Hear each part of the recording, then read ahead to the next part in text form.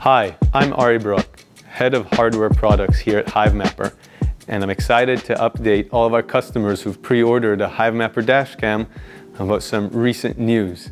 In my hand, I'm holding a prototype HDC dashcam fresh off of the assembly line. Because we're building high quality parts meant to be used around the world, we've defined a rigorous hardware validation and testing process. As part of that process, we've uncovered an issue where the camera module is causing some electromagnetic interference with the GNSS antenna. That GNSS antenna is then having a tough time acquiring and maintaining a satellite lock. We're engineering a robust solution to mitigate that issue, and we're excited to share updates with you soon. To be clear, this is not a supply chain or manufacturing problem whatsoever.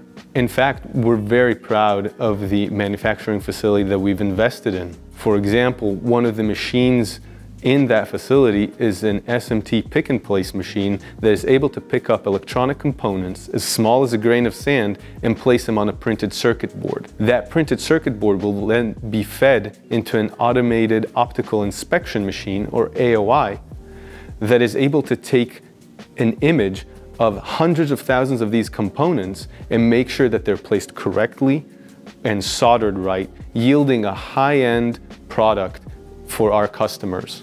We've made updates to our network phases and launch timelines on our website. You can check them out in the How It Works document. Thank you for watching this hardware update. Stay tuned for the next one.